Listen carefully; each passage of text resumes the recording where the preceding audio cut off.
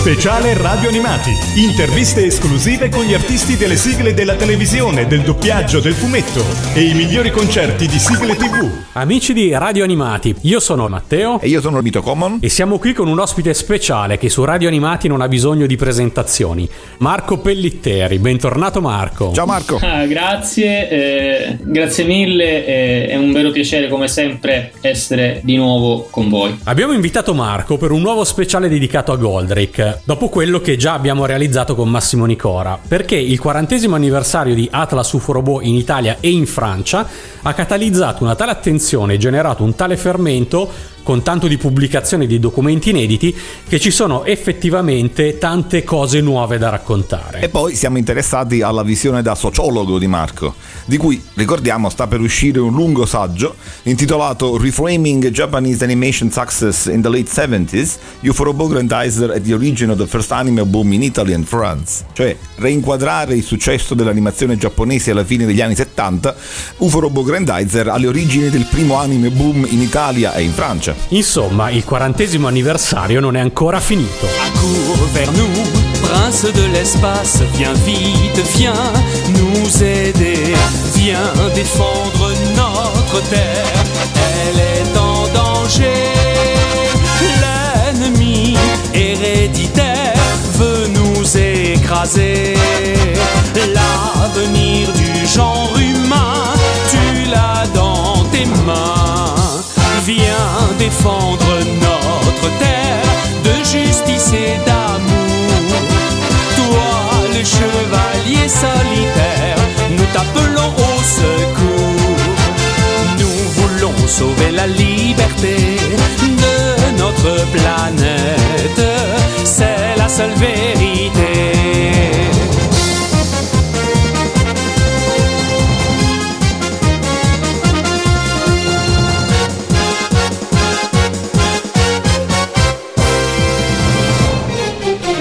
Accours vers nous, prince des étoiles, viens vite, viens nous protéger. Dans ton merveilleux robot, tu te bats encore. Repousse tous les assauts, deviens le plus fort. La terre a besoin de toi pour battre Vega. Viens défendre notre terre de justice et d'amour. Toi, le chevalier solitaire, nous t'appelons au secours. Nous voulons sauver la liberté de notre planète. C'est la seule vérité. Viens défendre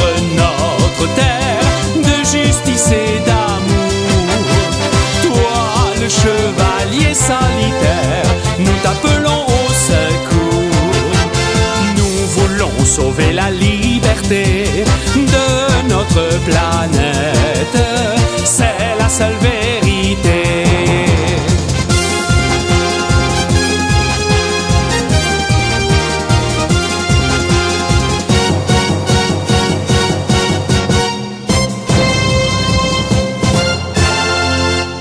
Marco, eh, dici, eh, perché è importante ricostruire le vicende della importazione di Goldrake in Francia e in Italia? Questo al di là della curiosità ovviamente di tutti quanti eh, i fan di Goldrake italiani e francesi. Ancora grazie eh, per l'invito. Dunque, Goldrake è eh, patrimonio culturale italiano e francese, eh, molto più in generale mh, che non rispetto al mondo degli appassionati e dei nostalgici, cioè al nostro mondo in qualche modo.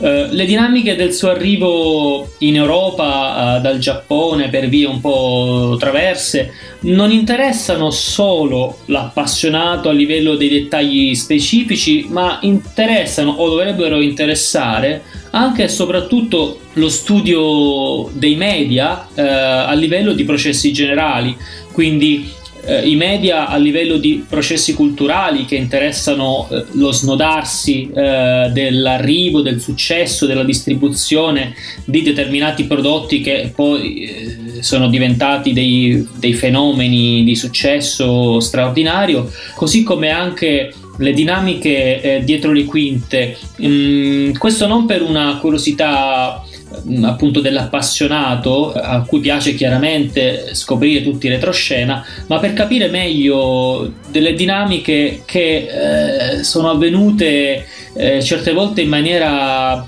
molto meno eh, lucida, eh, molto meno lineare di quanto si, si potrebbe pensare. Ecco. Le vicende dell'importazione di Goldrake in Francia non sono così semplici perché i racconti e le testimonianze non sono tutte concordi. E infatti in particolare nello speciale con Massimo Nicora abbiamo dato spazio ai racconti di Bruno René Houchet e ci siamo divertiti con il racconto di lui in albergo a Tokyo che accende la tv, vede Goldrake, capisce subito di doverlo importare in Francia e contatta a più riprese la reception prima che la puntata finisca perché gli mandano qualcuno in grado di dargli informazioni sul cartone, sui suoi produttori e poi... E poi con grande spirito di abnegazione, come abbiamo raccontato l'altra volta, avrebbe eh, importato Goldrick.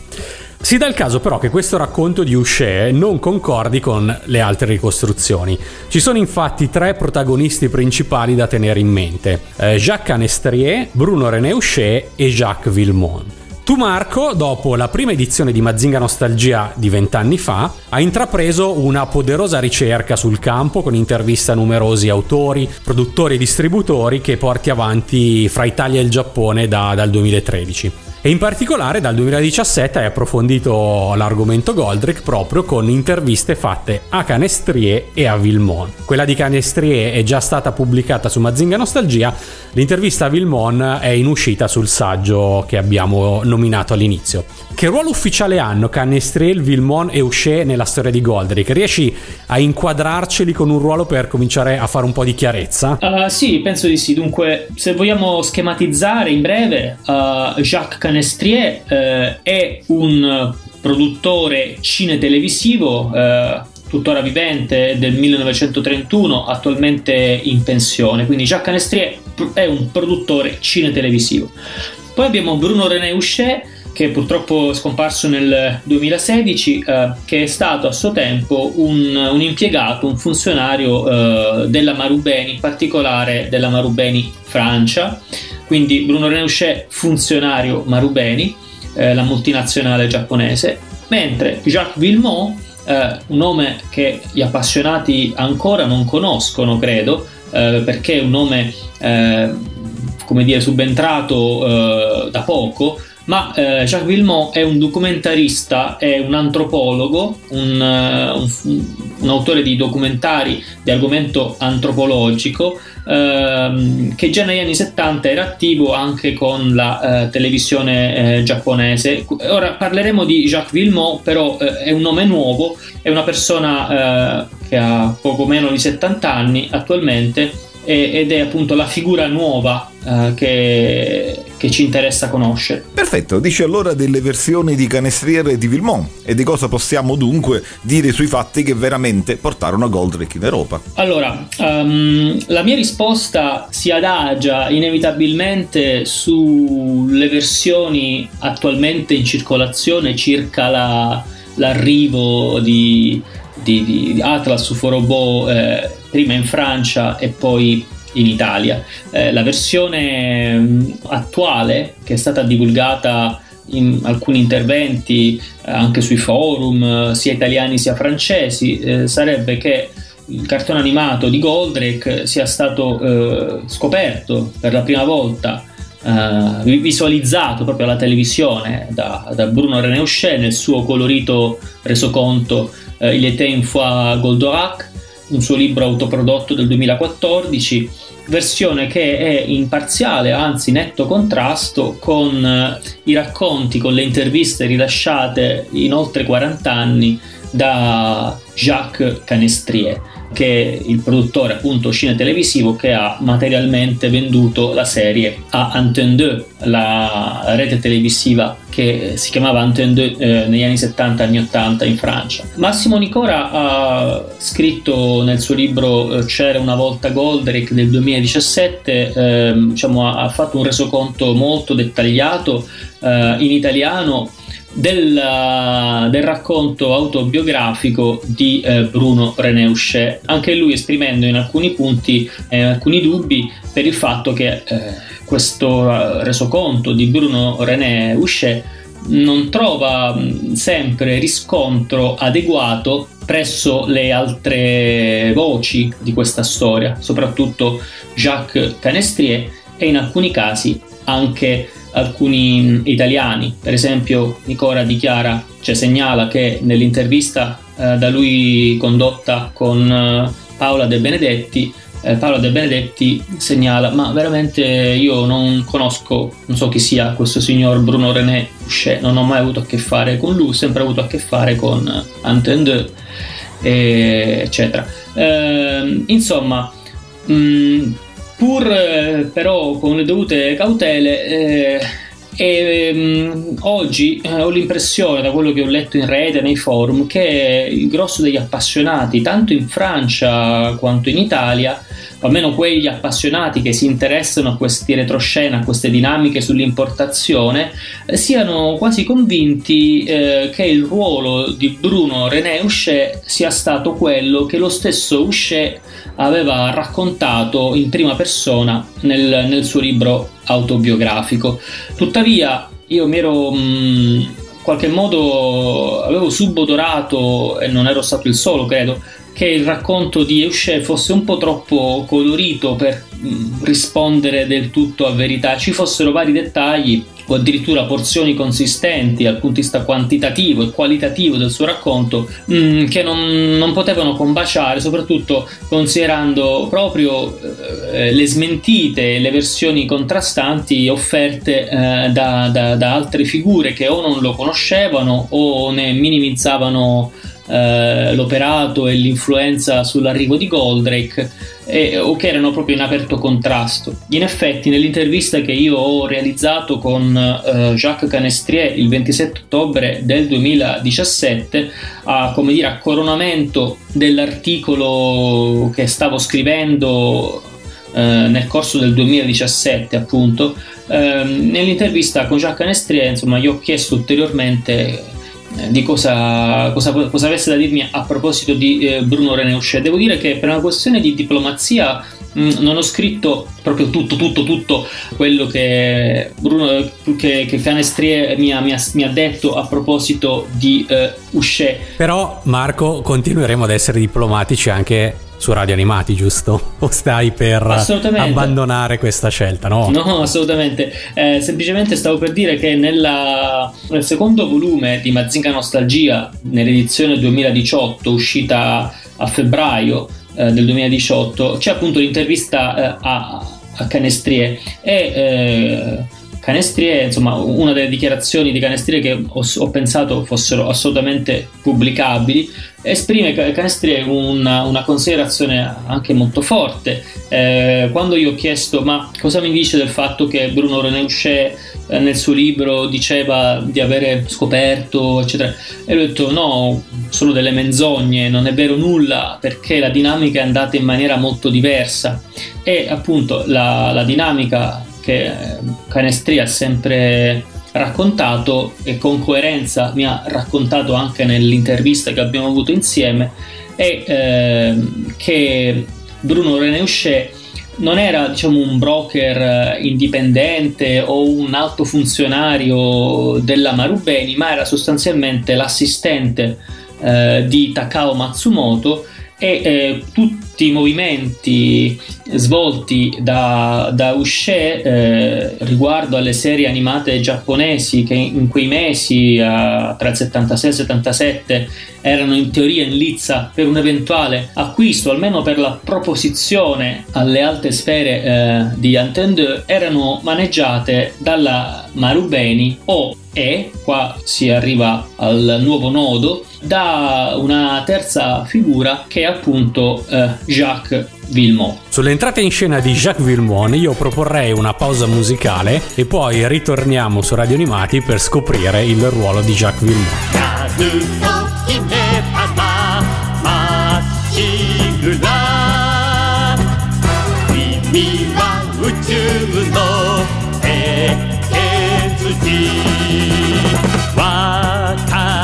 力で突進だ。頼むぞ王子。獅子王に燃えて正義の心で悪を打つ。僕らの星地球を守れ。スタートダッシュ GO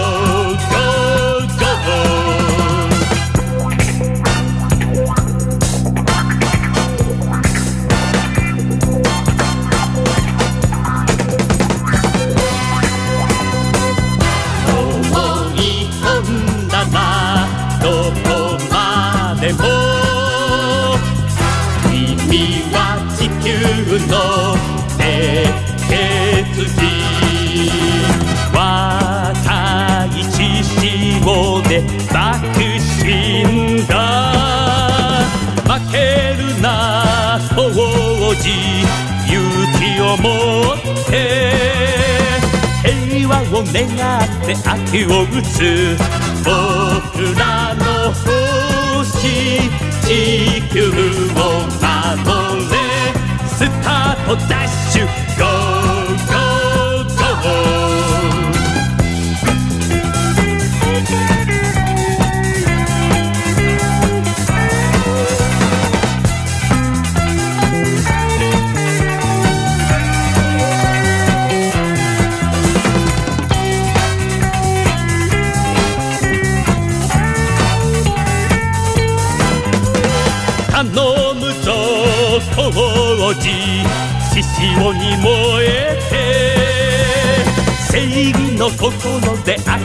物僕らの星地球を守れスタートダッシュ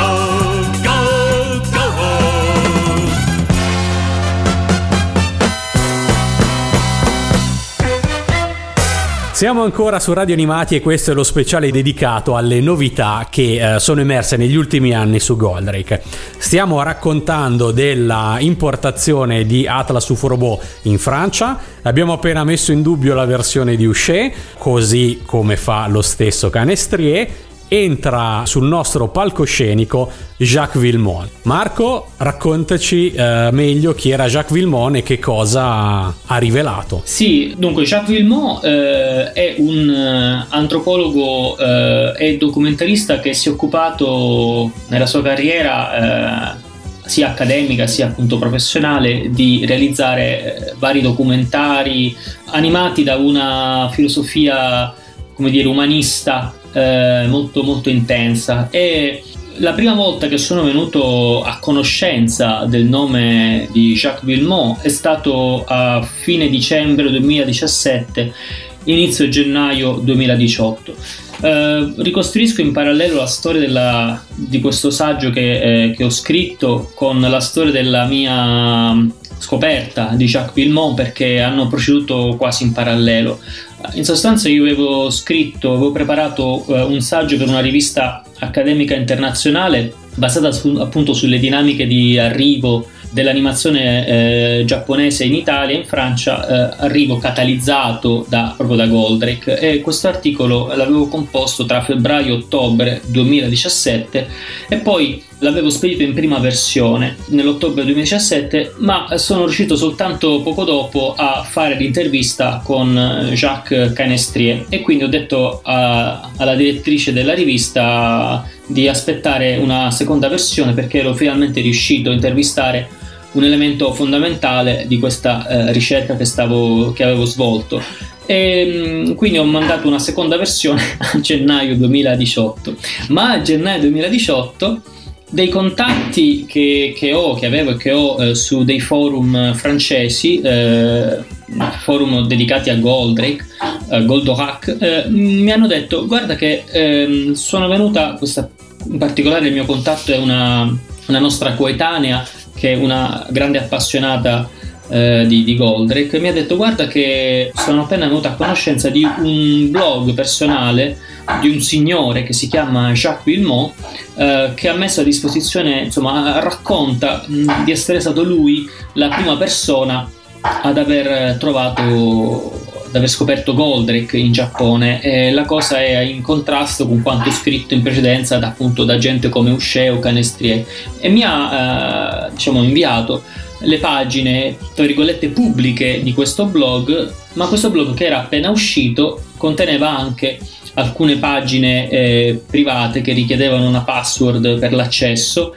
e, e questa persona, Jacques Villemot, che non è un'eminenza grigia ma un signore gentilissimo, molto simpatico che poi ho conosciuto personalmente a luglio, ma di questo si parlerà dopo, praticamente da quello che ho letto all'inizio, subito appunto parliamo di gennaio o febbraio, si stava togliendo a scopo puramente personale, personalissimo, senza alcuna idea di eh, tornaconto materiale, un sassolino dalla scarpa. Questo ha, di questo mi ha dato l'idea perché eh, in questi testi sul, su questo blog eh, Vilmot racconta da un punto d'osservazione completamente diverso, racconta esattamente la stessa vicenda raccontata a suo tempo in più occasioni o da Usce o da eh, Canestrier. Eh, non solo, eh, nelle pagine mh, coperte dalla, dalla password, eh, alla quale poi abbiamo avuto accesso per gentilezza. Perché una password? Perché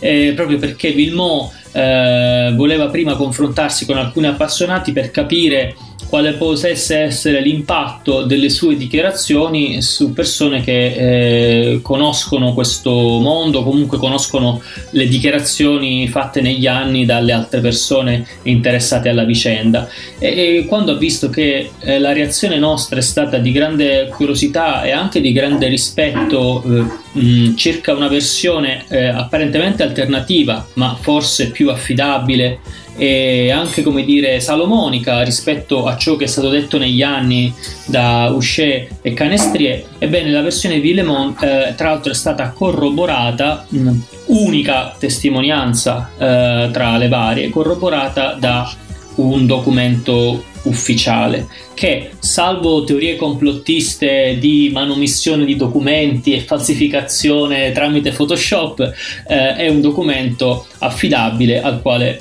si può tranquillamente eh, credere. Ecco, ed è ehm, una lettera inviata il 2 maggio del 1977 dalla Marubeni alla società di, eh, appartenente alla moglie di Jacques Villemot, una società che si chiamava Aditec, una lettera proprio firmata da Bruno René Houchet, una lettera con la quale la Marubeni chiedeva alla Aditec e a Jacques Villemot quali fossero le intenzioni della Aditec e di Villemot eh, se sfruttare o meno quei minuti o quei secondi che la Toei aveva concesso a livello di diritti dalla serie Mazinga, che poi si sarebbe scoperto essere in realtà Mazinga Z, eh, per eh, l'uso di questi secondi eh, per un documentario di, di Villemot. Allora, questo racconto risulta un pochino contorto perché in effetti lo è. Eh, di fatto eh, Jacques Villemot eh, già a metà degli anni 70, anzi nel 76, si era recato in Giappone invitato dalla NHK per eh, la negoziazione di alcuni documentari e anche per la realizzazione di un documentario specifico. Il buon Massimo Nicora ha fatto nel frattempo, a ottobre, pubblicato un articolo sul suo blog C'era una volta Goldrake in cui spiega, cioè racconta eh, in maniera dettagliatissima la carriera di Jacques Villemont perché appunto nel frattempo questo blog è diventato di dominio pubblico e quindi si è saputo chi sia uh, Jacques Villemot e che cosa, che cosa abbia fatto. Eh, anche il blog di Jacques Villemot adesso è pubblico e quindi mh, i fan italiani possono anche loro guardare eh, e giudicare da sé mh, questa lettera inviata dalla Marubeni a Vilmo nel maggio del 77. Ma quindi Marco, questa lettera che cosa cambia nella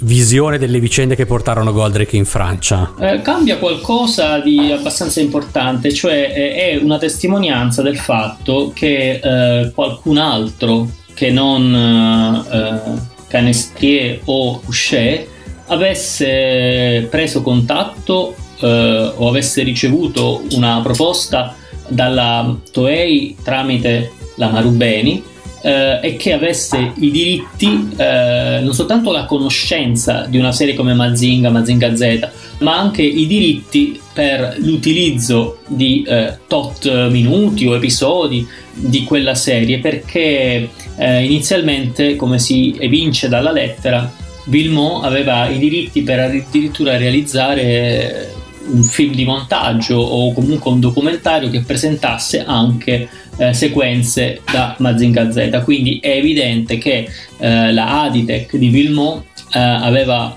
firmato un qualche tipo di accordo con la Toei Doga per tramite della Marubeni, che era a quell'epoca la concessionaria, la, come dire, la, la, l'agente in Francia eh, della Toei Doga. Questo è un dato assodato. Questa è la prima cosa che, che emerge. Mm, e la seconda è che eh, Vilmont nel, nel, suo blog eh, racconta in maniera anche abbastanza dettagliata tutta una serie di vicende occorsegli in, in, Giappone e il sassolino che si è voluto togliere dalla scarpa, ripeto, non per tornaconto materiale, ma per una questione di, eh, di giustizia forse della, a livello di memoria storica, tanto che poi lui ha spesso evidenziato questo fattore di memoria storica che va salvaguardata per i posteri, anche per cose comunque piccoline come queste se vogliamo, è che... Eh, lui aveva conosciuto Bruno René Houchet eh, in quegli anni e gli aveva raccontato eh, alcuni aneddoti occorsi nella sua prima visita in Giappone in cui si era in visita non, so, non ricordo se da solo o con, con la moglie. Vilmont riferisce di aver raccontato a Bruno René Houchet che nella sua prima visita a Tokyo aveva incrociato per puro caso eh, parliamo del 1976, una serie televisiva alla televisione giapponese piena di robot giganti che sparavano dei, dei pugni, eh, che lanciavano i missili dalle tette e quindi si trattava probabilmente di Grande Mazinga o Mazinga Z. E senza aggiungere i particolari piccanti poi eh, aggiunti da Bruno Houchet nel suo uh, resoconto. Cosa significa questo? Significa che Villemont ha detto esplicitamente che gli dispiace che il suo resoconto sia stato, tra virgolette, rubato da Bruno Houchet, il quale lo ha usato, lo, lo, ha riutilizzato, lo ha riciclato per il suo colorito libro Il été in foie Goldorak, aggiungendo altri dettagli piccanti e retrodatando l'evento al al 1975 quando invece appunto Vilmon dice no veramente questo è un aneddoto che mi appartiene sono io che l'ho raccontato a Bruno René Houchet ero io nella camera d'albergo eh, a guardare per puro caso una serie giapponese con i robottoni eh, è nel 76 non nel 75 eh, questo non esclude interamente che le, i due eventi possano essere avvenuti eh, in maniera simile in uh, momenti diversi, però guardiamo in faccia uh, le probabilità, la statistica è altamente difficile, per quanto possibile è altamente improbabile che lo stesso racconto, lo stesso evento si sia verificato a due persone a distanza di pochi mesi eh, con caratteristiche così analoghe. Vabbè, questo sì, posso, se posso aggiungere il mio parere è assolutamente da escludere. Facciamo un'altra pausa musicale. 宙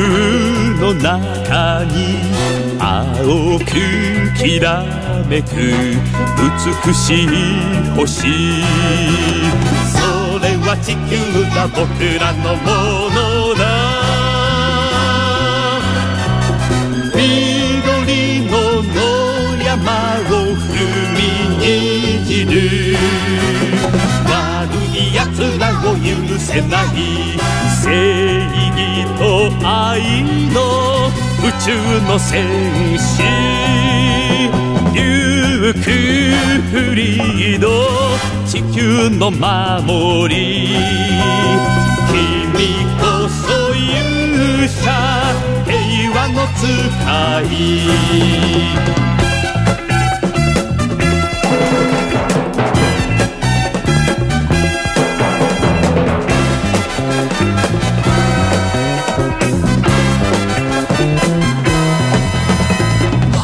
けなく暗い宇宙の中に光り輝く人間の星。それは地球が僕らのものだ。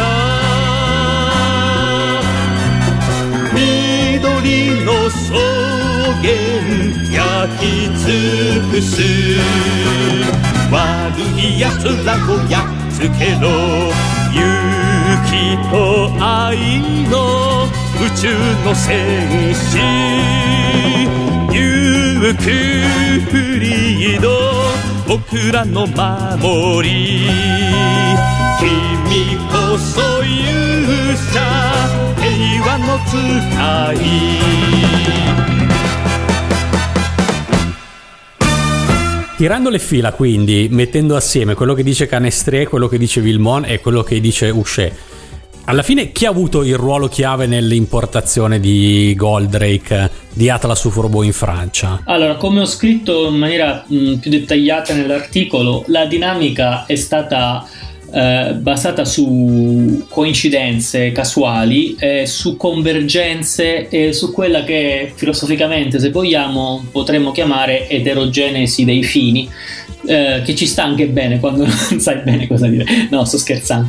Perché eh, propositi diversi e eh, azioni diverse, basate su, anche su logiche imprenditoriali diverse, hanno portato all'acquisto da parte di Antenne 2 eh, delle serie Grandizer e Candy Candy in, una, in un periodo mh, mm, miracolosamente positivo che ha favorito quell'acquisto. Eh, un, quindi un intersecarsi di situazioni difficilissime da riverificarsi tutte insieme. Allora, eh, cerchiamo di eh, stabilire con una parvenza di ordine. Uh, nel 76 uh, eh, Jacques Villemot era in contatto con la NHK e tramite la NHK entra in contatto con la Toei Doga ed è interessato alla Toei Doga a usare qualcuno, diciamo, fa- ad avvalersi di qualcuno che possa prendere contatto con la Marubeni in Francia per la vendita di serie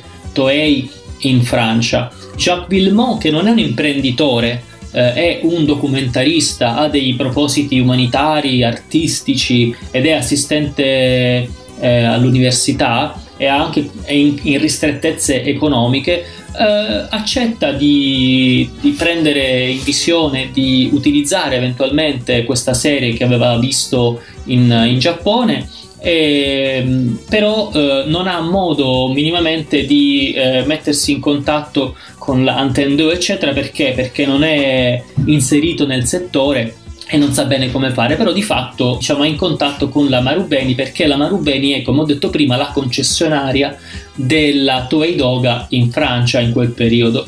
Nel frattempo eh, sappiamo già che eh, Bruno Reneuchet già lavorava per la Marubeni e sulla scorta di questi primi contatti egli stesso in quanto impiegato da Marubeni scopre, viene a contatto gioco forza con queste serie giapponesi perché come anche racconta Jacques Canestrier e come è confermato mh, nelle, dal, dalle cose che mi ha detto Jacques Villemont materialmente Bruno Reneuchet porta le bobine in visione sia a Villemont sia alla, alla società eh, Telsia Film che era la società di cui eh, Canestrier era produttore associato insieme al proprietario della Telsia Film eh, il grande sceneggiatore cinematografico Yves eh, Siampi. Quindi in sostanza c'è questa, questa situazione in cui 2 è poco o punto interessata alle serie giapponesi. La, la Marubeni eh, sa che Vilmont è in contatto eh, con la Toei Doga e la Toei Doga stima tramite la NHK, stima Vilmont per il fatto che Vilmont è un documentarista, eh, ma Vilmont non è un, uh, un uomo che sta all'interno delle dinamiche di produzione, negoziazione e compravendita dei prodotti cine-televisivi, quindi non ha modo di uh, avere accesso a determinate persone o, come Vilmont stesso ha detto, pensava addirittura di non averne la possibilità, quindi forse non ha nemmeno fatto grandi tentativi, però era in contatto con alcuni, alcune persone all'interno di Antenne 2. Cosa succede? Villemont a un certo punto uh, deve partire per realizzare un documentario e uh, ha detto a posteriori sa per certo di essere stato contattato da qualcuno degli Antenne 2 però è irreperibile, non è in Francia. E a questo punto dice Villemont che subentra Bruno René Houchet perché eh, Antenne 2 a questo punto contatta la Marupeni per dire mm, dov'è il signor Villemont e mi ha detto Villemont eh, a quel punto Bruno René Houchet prende in mano l'affare delle serie giapponesi perché capisce che c'è un forte interessamento da parte di Antenne 2. Cosa succede però nel frattempo? Che lo stesso eh, Houchet, eh, in questo caso con cristallina onestà, dice io non ero uomo di lobby, eh, volendo dire non sono stato, non ero una persona capace di avere un vero e proprio accesso o comunque una, un potere negoziale eh, con le persone, con le altre sfere di, di, una realtà così complessa e anche certe volte con la puzza sotto al naso come, come una rete pubblica televisiva. Ma siccome in quel periodo, come è stato anche scritto in vari, in vari, in vari fonti, nel, nel, libro Mazinga Nostalgia, ma ancora prima in maniera molto più dettagliata da Massimo Nicora nel suo libro C'era una volta Goldrake, la Telsia Film era in difficoltà perché c'era in ballo la produzione di una miniserie televisiva ad alto costo, eh, I falciatori di Margherite, eh, che non trovava grosso riscontro, cioè c'erano problemi di budget, ma siccome Yves Xianpi che ho citato poco fa era amico di Takao Matsumoto da, da, da, da tempo prima, eh, Takao Matsumoto aveva aiutato la, la Telsia Film a completare, poi a distribuire nel mondo, a vendere insomma eh, questa serie eh, Les Fâcheurs de Marguerite, i falciatori di Margherite, una serie basata sui primi pionieristici uh, aviatori uh, del primo Novecento. Imperdibile, la voglio tutta. No, è, è, bellissimo il titolo, I falciatori di Margherite, perché sai, questi aerei volavano rasoterra e quindi eh falciavano i prati. Quindi... Eh, dato che Matsumoto, quindi la Marubeni, aveva aiutato eh, in maniera rocambolesca eh, la, la Telsia Film di Siampi, a quel punto eh, c'era stata una dinamica di do ut des. Eh, Takao Matsumoto aveva proposto ai CMP di prendere in considerazione la, eh, queste serie giapponesi e di venderle ad Antenne come contropartita amicale, amichevole per l'aiuto che egli aveva esteso al, allo sceneggiatore e, e produttore cinetelevisivo. E quindi Bruno René Houchet si era trovato a fare il portabobine dalla uh, Marubeni alla Telsia Film. Uh, a quel punto Canestrier, che è sempre stato un imprenditore di grande fiuto, ha capito quale potesse essere il valore uh, di queste serie, eh, la possibilità che potessero ven- venire comprate dalla, da Antenne 2 e siccome c'erano già difficoltà da tempo con Siampi, il quale doveva vari stipendi arretrati a, a Canestrier, Canestrier nell'aprile del 1976 fonda, la, come ha detto Canestrier stesso, nell'aprile del 76 fonda la sua società, la Pictural Film, e eh, diventa in qualche modo il vero e proprio agente eh, di queste serie e le propone a Antenne 2, nella quale per una manciata di mesi si trova a capo della, del Dipartimento di, dei programmi per ragazzi, la cosiddetta Unité Jeunesse e Famiglie, un personaggio che eh, è quello che materialmente firmerà i contratti con Canestrier per Candy Candy e Grandizer. Questo diciamo è storia assodata, è stata descritta in maniera molto precisa da, da, Nicora, io la riprendo in Mazinga Nostalgia, ma è una cosa che è risaputa da oltre 40 anni perché ci sono articoli del 78 e del 79 pubblicati in francese che praticamente raccontano questa versione che è rimasta del, quasi intonsa in questi 40 anni, sempre confermata dalle varie figure di riferimento. In tutto questo, quindi, mm, chiedo veramente scusa se sono stato lungo, ma è un racconto contorto che è difficile da rendere in maniera organica. Eh, quello che Villemot rimarca, sottolinea, eh, il motivo per cui diciamo, è emerso da, dalle nebbie del tempo è semplicemente per spiegare che lui si trovava lì in quel momento, aveva queste serie in mano, ma siccome eh, non fu reperibile al momento giusto e non c'erano i mezzi di comunicazione che ci sono oggi, Bruno Renouchet prese in mano l'affare e lui eh, e quindi Vilmo non, non poté fare più, più, nulla anche perché non aveva come dicevo prima potere negoziale non, aveva, non era nemmeno un imprenditore quindi non aveva quel fiuto quell'opportunismo nel senso o positivo o denigratorio del termine fate voi che ha un, un imprenditore e un broker eh, in questo settore eh, non aveva questa spregiudicatezza e quindi disse vabbè a quel punto non, non, ebbi più alcuna voce in capitolo e tutto quanto sfumò e io mi occupai delle mie cose, del resto, come appunto dicevo, lui si occupava d'altro. Eh, la morale della favola è che è importante quando si fa, a mio avviso, eh, quando si fa ricerca su questi argomenti, non dare nulla per scontato e in effetti non è nemmeno detto che la versione di Chapilmon sia vera o comunque affidabile al 100%. Io ritengo che sia un nuovo tassello eh, che in qualche modo ridimensiona l'operato, il ruolo, la centralità di Bruno René Houchet, così come anche mh, dà una nuova prospettiva ai fatti per come eh, sono stati raccontati da, da Jacques Canestrier, eh, ma rimane il, fatto, rimane il fatto che io personalmente da tutto quello che risulta, ponderando i vari fatti e considerando anche e soprattutto il documento che è stato fornito da, da Vilmot e anche da tutti i vari racconti che lui ha fatto senza avere la minima conoscenza di tutte le ricerche fatte nel frattempo da altri, ritengo che ciò che Vilmont ha detto sia molto molto affidabile. Ci sono anche altre dichiarazioni che lui mi ha, mi ha fatto in email che se volete vi posso riferire. Proporrei una pausa musicale e poi ritorniamo su Radio Animati.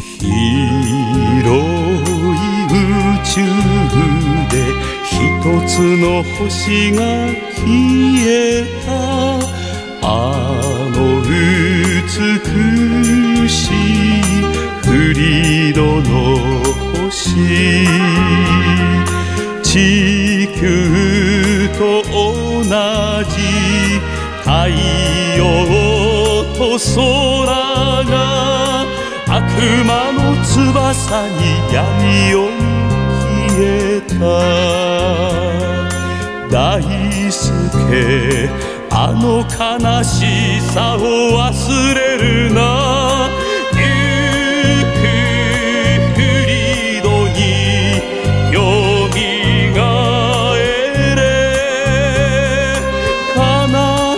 さを二度と繰り返さないため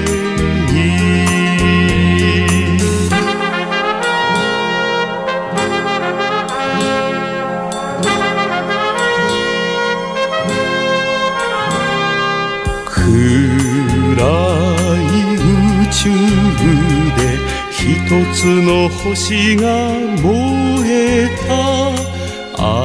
の美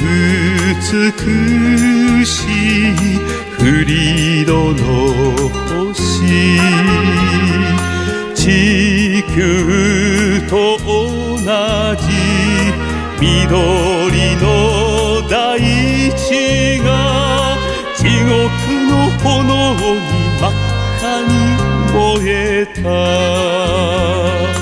大輔あの苦しいさを忘れるな。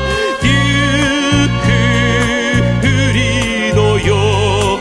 立ち上がれ。苦しさを二度と繰り返さないために。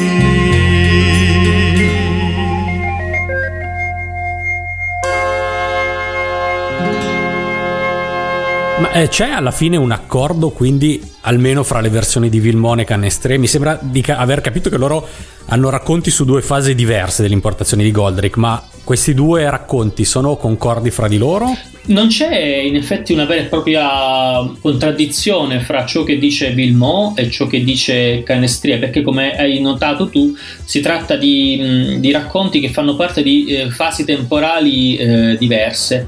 eh, cioè il fatto che a Villemont fosse diciamo, sfuggito l'affare delle serie giapponesi non tange minimamente Canestrie perché Canestrie subentra nella cosa poco dopo, eh, quando è costretto, diciamo così, a prendere contatto e a, lavorare con Bruno René perché Bruno René spunta eh, alla Telsia Film con eh, dei campioni di bobine eh, inviato da, da, da, da, Takao Matsumoto. Insomma, è come se Takao Matsumoto avesse detto a Ushe: vai alla Telsia Film, porta loro queste bobine, così le fai vedere a, al signor Jacques Canestrier, il quale tenterà di eh, vendere questi, questi, materiali, queste serie a Antenne 2. Abbiamo già preso contatto insieme. Una volta sfumata, eh, come si evince dalla lettera di Villemont, una volta sfumata la possibilità che Villemont utilizzasse pezzi di eh, questa serie, che fosse Mazinga Z o Grande Mazinga,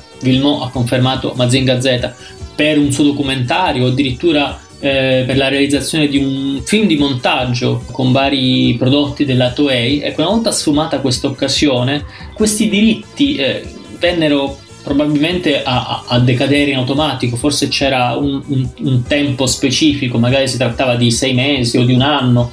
E in, in effetti in questo periodo sono in contatto con uh, Villemot e gli ho chiesto se per caso lui abbia avuto modo di mm, cercare e trovare altri vecchi documenti che possono fornirci altri dettagli su questa, su questa cosa. Quindi diciamo con i vari tempi, che non sono sempre i tempi immediati che vorremmo, eh, stiamo andando avanti. In effetti, Marco, era davvero necessario allargare il discorso ai racconti di Canestri e di Vilmone e adesso capisco meglio l'importanza della mail che c'è scritto a giugno. Accennavi prima della pausa musicale di eh, email, di uno scambio di email fra te e Vilmon dove lui avrebbe aggiunto ulteriori informazioni. C'è qualcosa in particolare che che vogliamo condividere con gli ascoltatori? Sì, dunque tra febbraio e maggio del 2018, quando Mazinga Nostalgia era già stato dato alle stampe, eh, io però ho continuato a, a, a dialogare mh, a spizzichi e bocconi con Vilmont, prendendo con molto tatto, con molta delicatezza tutta la questione perché non conoscevo di persona l'uomo e, e, si trattava di magari di una persona dal carattere non so permaloso o, o, o difficile insomma magari. Ecco allora eh, in maniera molto lenta e prudente ho cercato di tramite anche la, la mia amica francese eh, appassionata della, dell'argomento ho cercato di capire se potessi eh, tirargli fuori eh, qualche altra informazione e questo non è stato facile né possibile in realtà fino a luglio del 2018 eh, in cui eh, siamo riusciti a coinvolgere Jacques Canestria in una piccola conferenza che si è svolta in un locale a Parigi. Io mi trovavo a Parigi eh, perché c'era stata eh, la grande manifestazione Japan Expo dal 5 all'8 del mese e l'8 pomeriggio c'è stata questa conferenza in cui ho parlato io, ha parlato il giornalista francese ed esperto di animazione giapponese Rui Pasquale, in cui c'erano vari fan e in cui è intervenuto anche con suo grande piacere, con nostro enorme onore, eh, appunto Jacques Villemot. Abbiamo anche la, le videoregistrazioni dell'intera conferenza, soprattutto quello che ci interessa, le sue dichiarazioni. Successivamente a questa, a questa conferenza, in cui magari non è stato possibile approfondire di tutto e di più, io gli ho posto un paio di domande in email e gli ho chiesto, ma eh, nel suo resoconto eh, autobiografico Bruno Reneusce dice che addirittura trasportò 200 kg di bobine di Grandizer e Candy Candy e Mazinga da, da, Tokyo a Parigi come se fosse stata tutta roba sua, come se eh, lui avesse avuto un mandato diretto dalla Toei per vendere questa roba in Francia, ma insomma le corrisponde questa cosa? E lui mi ha scritto, ma per quanto mi riguarda, in, eff- in realtà eh, Usce mi eh, diede, eh, per conto della, della Marubeni, alcune bobine Uh, alla fine del 1976 alcune bobine che provenivano dalla Toei, 5 o 6 per cominciare, ed erano state inviate alla Marubeni a Parigi per, per, posta aerea e voglio precisare, dice sempre Vilmot, non erano delle copie nuove. Eh, in seguito avrei avuto eh, avrei ricevuto delle copie delle bobine nuove in 16 mm per la diffusione più una copia eh, in 16 mm audio cosiddetta BE eh, Band International eh, cioè insomma colonna internazionale senza però le voci solamente per i suoni. Eh, questo non ha niente a che fare con le copie che Usce si è fatto inviare più tardi nel 1977 o più probabilmente nel 1978. E poi aggiunge un particolare interessante che appunto eh, ri- rientra insomma, in risonanza con quanto detto prima a proposito del peso. Moltissime spedizioni di film, insomma, di pellicole, di materiali si facevano per posta aerea.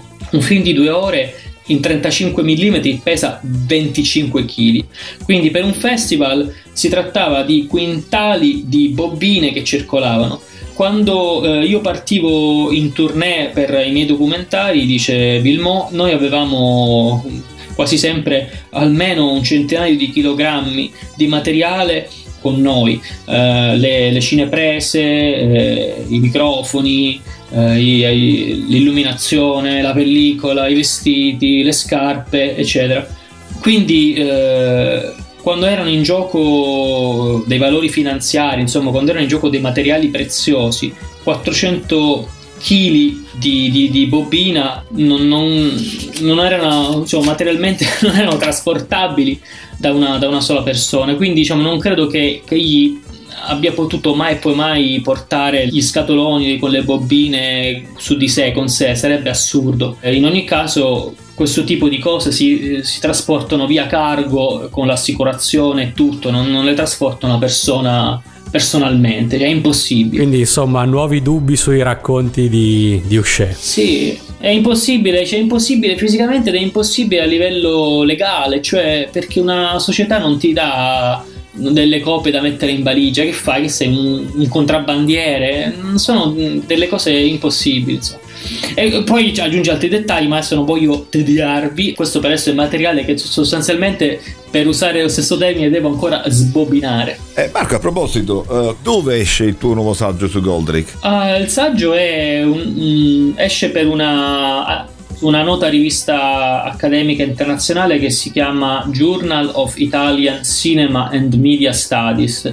E appunto come dicevo è un lavoro cominciato nel 2017 mi spiace che sia in inglese, ma eh, don't worry. prima o poi, don't worry. spero prima che poi eh, dovrebbe, dovrebbe, uscire anche, insomma, fa, lo faccio uscire in qualche modo anche in italiano. Very good. Allora facciamo un'altra pausa musicale su Radio Animati e poi ritorniamo per parlare con Marco Pellitteri dell'arrivo di Atlas UFO Robot in Europa.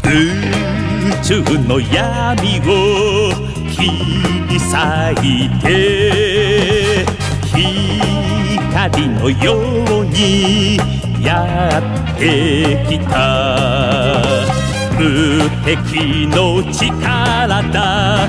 フレンダイザー。敵を砕けスクリュークラッシャー。悪を切れダブルハーテン。輝く大地を守るため。シューティンダイザーゴー！戦え無敵のグレンダイザー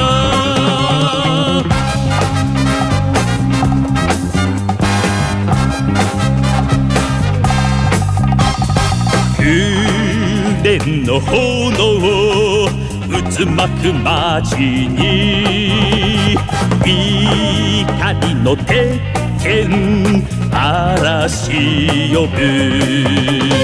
正義の力だフレンダイザー敵を受けスピン操作。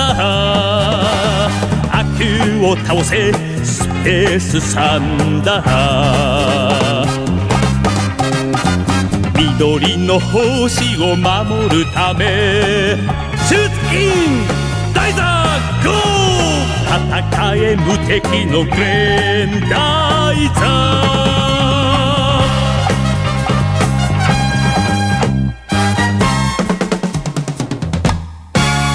Senti, ma su Mazinga Nostalgia come hai gestito l'argomento Goldrake? Perché avevi già intervistato Canestrie, l'intervista appunto riportata in Mazinga Nostalgia, ma non avevi ancora intervistato Vilmon. Quindi quando a inizio 2018 per il quarantennale di Goldrake è stato ripubblicato Mazinga Nostalgia nella nuova edizione a due tomi. L'argomento importazione di Goldrake in Francia come l'hai gestito? Beh, devo dire con molta cautela perché già uh, nel 2016 quando avevo scoperto il libro di, di Bruno René Houchet eh, ne avevo letto alcune pagine e poi quando ne sono venuto così in possesso eh, avevo notato che la, la, l'atteggiamento e lo stile di Bruno René erano troppo coloriti, mm, la cosa un po' mi puzzava.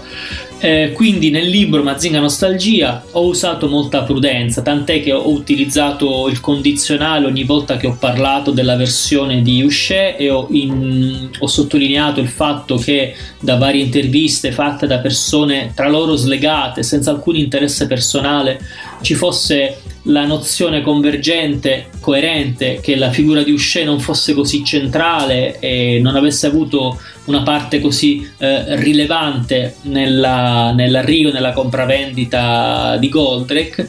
E quindi nel libro, sì, nel primo tomo del libro, fra pagina 344 e, e 352 circa, racconto in grande sintesi le vicende per come erano all'epoca, eh, come dire, come erano state eh, dedotte sia da me sia prima nel libro del 2017 da Massimo Nicora e non mi espongo più di tanto perché anche sottolineo ma uh, il ruolo di Uscè sembra più insomma nebbioso di quanto uno possa pensare dal libro perché il libro che lui ha scritto a suo tempo è molto altisonante ma non è possibile che, che lui dica queste cose e tutti gli altri dicano dicano l'opposto. Allora, non è che mh, mm, il concetto fondamentale è questo: non è che se mh, mm, ci sono tre o quattro persone che dicono A e poi spunta una quinta persona che dice B, che è in totale contraddizione con le versioni precedenti. La versione finale eh, contrastante debba per forza o più probabilmente essere vera perché scardina una realtà consolidata.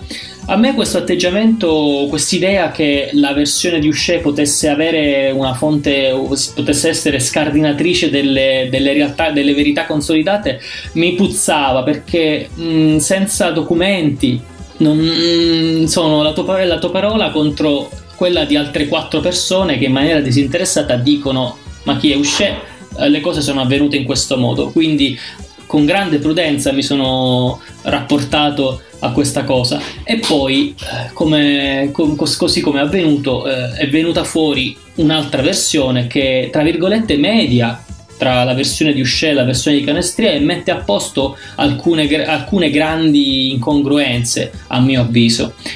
Poi non posso nemmeno essere certo io adesso che la versione di Vilmont sia al 100% corretta perché una cosa è avere una lettera che spiega tante cose ma non tutto, e un'altra invece è magari avere qualche straccio di contratto e i contratti finora non sono mai usciti, quindi stiamo ancora alla ricerca di questi contratti. Ma vorrei sottolineare una cosa, permettetemi. Dici. Per me la, la curiosità di tutta questa faccenda, di tutta questa vicenda, non è la curiosità riguardante Goldrake, perché io sono un amante come tutti noi di Goldrake, ma posso tranquillamente eh, prendere una VHS o un DVD e guardarmi le puntate e godermele.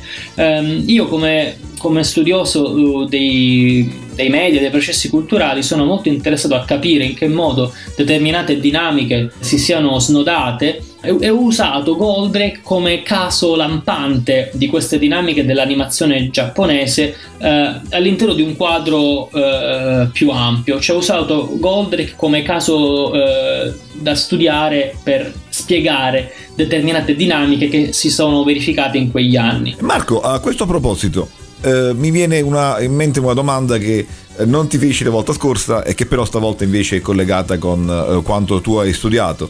Cioè, intervistando i protagonisti dell'importazione francese di Goldrake, noti una differenza tra il loro approccio al quarantesimo anniversario di Goldrake in Europa rispetto al nostro? oppure no? Uh, per quanto riguarda i protagonisti dell'importazione francese rispetto a, ai, a, ai produttori o ai programmisti italiani, Mm, c'è un atteggiamento abbastanza simile per, eh, sia per i produttori e programmisti francesi sia per quelli italiani. Si trattava di coprire un pubblico eh, nuovo per la televisione pubblica eh, che era quello dei bambini. E quindi il quarantennale non li tocca più di tanto. Diciamo che in, eh, in, Francia i fan francesi hanno avuto più gioco con persone come Canestrier eh, che si è prestato in tutti questi anni a varie interviste, a varie apparizioni nei festival e, e eh, diciamo che gli fa piacere essere riconosciuto come figura importante dell'arrivo di una icona anche del, della cultura pop francese. In Italia l'attenzione dei fan si è rivolta soprattutto nei confronti dei doppiatori e degli autori delle musiche italiane. Eh, è soltanto di recente alcuni investigatori, no? come Massimo, Nicora e altri, eh, si sono interessati alle, alle dinamiche, insomma, ai retroscena. Però se parliamo di cosa significhi il quarantesimo anniversario di Goldrake in Francia, di cosa significa in Italia, ci sono alcune, alcune piccole differenze. Uh, se andiamo a guardare diciamo, la dinamica generale, il fenomeno è stato analogo in Italia e in Francia per successo, ampiezza del pubblico, eh, eh, intensità dei, dei dibattiti pedagogici, anche politici. Però in Francia Goldrake è uno dei pochi cartoni giapponesi che sono riconosciuti come tali, cioè come giapponesi, mentre invece poi c'è stata, eh, come dire, è, è, stato calato un velo censorio su moltissime serie e per anni il pubblico francese non, non ha saputo che quei cartoni giapponesi erano giapponesi. Invece in Italia eh, Goldrake è uno dei tantissimi cartoni chiaramente riconosciuti da tutti come giapponese. Inoltre Goldrake fa parte di un panorama eh, fantascientifico robotico che in Italia non ha paragoni in tutto il mondo, laddove invece in Francia Goldrake è sostanzialmente il solo cartone mh, di robot giganti, quindi l'impatto generale ha delle caratteristiche diverse, cioè Goldrake è ritenuto soprattutto in Francia una sorta di cartone eh, fantascientifico fantasy, eh, dove il robot non è così centrale. Mm. Eh, mentre in Italia, siccome c'è questa iterazione, c'è stata questa iterazione eh, di genere continua, Goldrake, Danguard, Gundam, Mazinga, eccetera, Goldrake è riconosciuta come una storia di robot.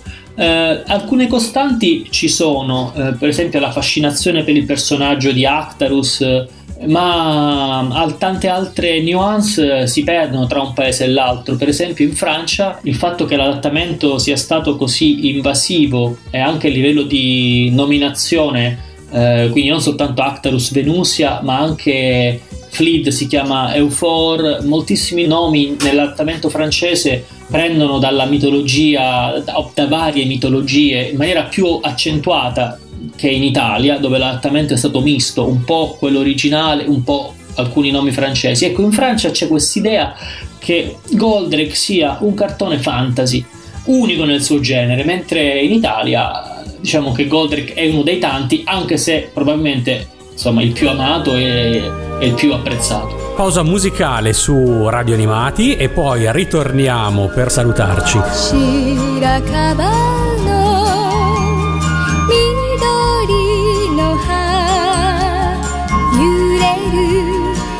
屋上にあの人の声だけが遠くこだまする。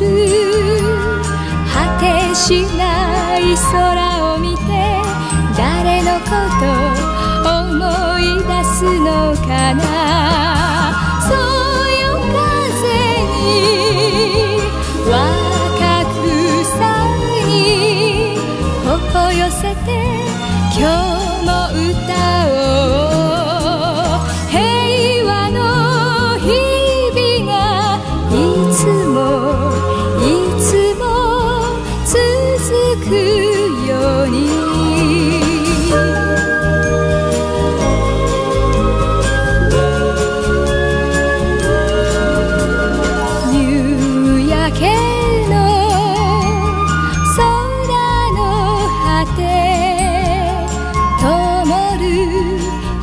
しあの人の優しさが胸に火を灯す。涙ぐむあの瞳誰のこと見つめてるのかな。名も知れぬ野の花に口づけて明日も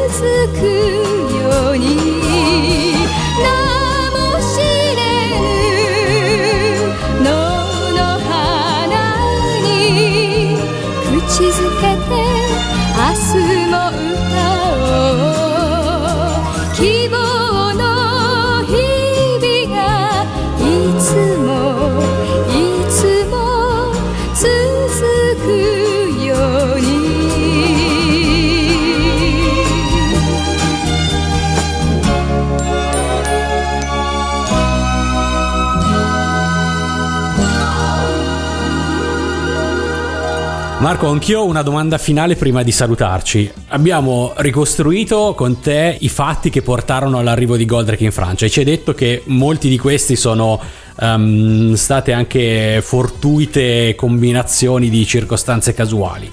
In Italia Goldrake arrivò dalla Francia. Se in Francia le cose fossero andate diversamente e qualcuna di questi eh, fortuiti eventi si fosse inceppato, secondo te in Italia sarebbe arrivato lo stesso prima o poi o qualcosa andato storto in Francia avrebbe potuto cambiare anche la storia del- dei media e del costume italiano?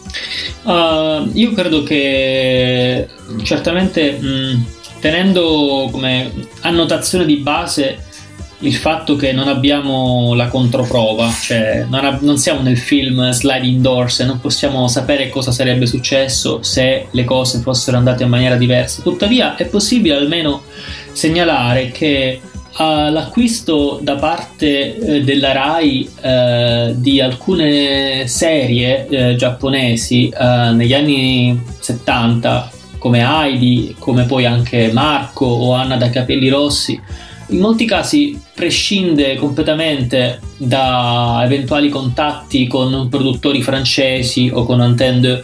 La, la maggior parte delle serie giapponesi mandate in onda sia dalla RAI sia dalle reti private in Italia non è stata mai eh, mandata in onda anche in Francia o in altri paesi, cioè come sappiamo noi abbiamo l'Italia ha il record assoluto, quindi è, sarebbe abbastanza fuorviante pensare che senza l'intercessione o l'intervento di qualche produttore francese Goldrake non sarebbe mai arrivato in Italia. Potremmo dire che sarebbe arrivato in forma diversa, eh, potremmo dire che non si sarebbe chiamato Goldrake perché eh, in Italia si chiama Goldrake perché in Francia era stato già battezzato Goldorak, anche se poi la trasmissione in Italia avvenne prima che in Francia per vicissitudini che sono state già analizzate varie volte. La Toei eh, era presente eh, dagli anni 70, dai primi anni 70, se non prima, alle fiere eh, de- del-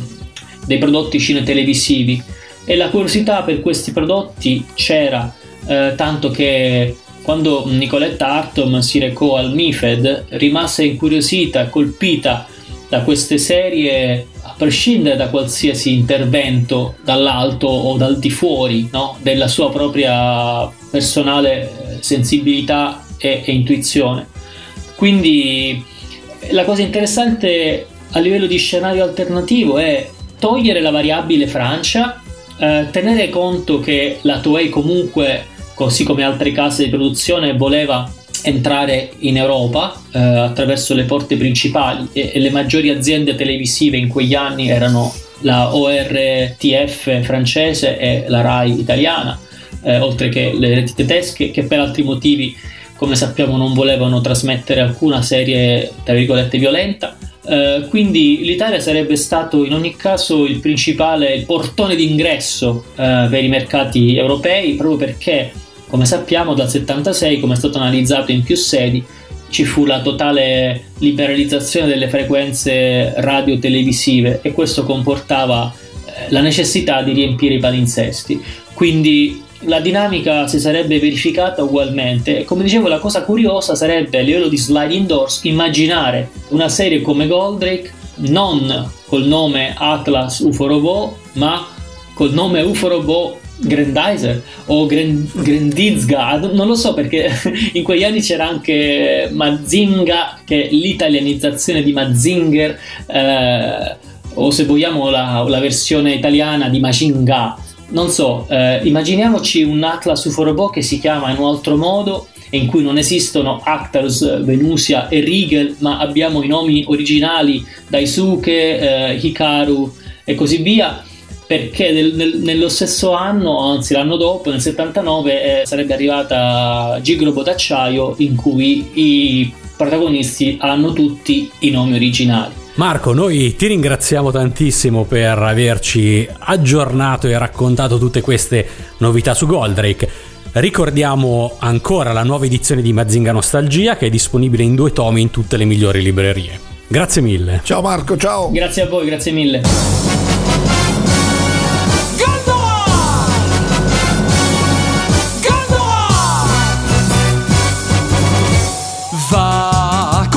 ton ennemi, moins vaillant que toi. Goldorak pour notre vie, je suis sûr que tu vaincras. Toi, le prince de l'espace, le champion de la terre, tu vas sauver notre race, nous redonner la lumière. Pour l'amour des oiseaux, des fleurs, et pour l'amour des vainqueur des géants, des méchants. Goldorak, tu es plus fort que les anges de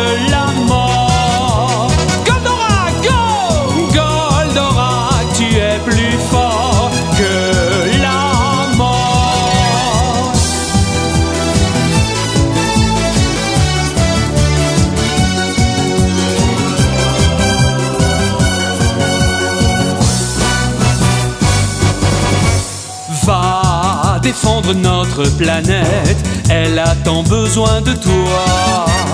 Au-dessus de notre tête, tu mèneras le combat. Toi, le prince des étoiles, chevalier solitaire, c'est pour combattre le mal que tu vis sur notre terre. Pour l'amour des oiseaux, des fleurs, et pour l'amour des enfants sera vainqueur des géants, des méchants. Goldorak, tu es plus fort que les anges de la mort. Goldorak, go! Goldorak, tu es plus fort que la mort. Pour l'amour des oiseaux, des fleurs et pour l'amour des enfants, tu seras vainqueur des géants, des méchants. Goldorak, tu es plus fort que les anges de la mort.